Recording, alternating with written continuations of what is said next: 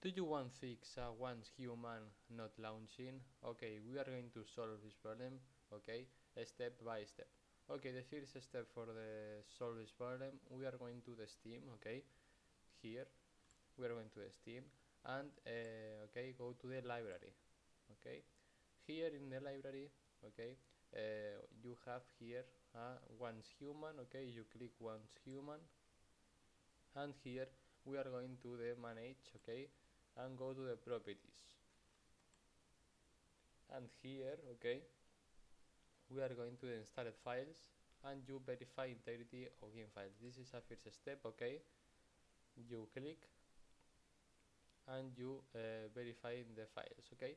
The second step okay we are going to the general and here in the launch options you put dash dx11 or if not work this you put dash dx12 okay? And you uh, you solve the problem not launching well okay? Bye bye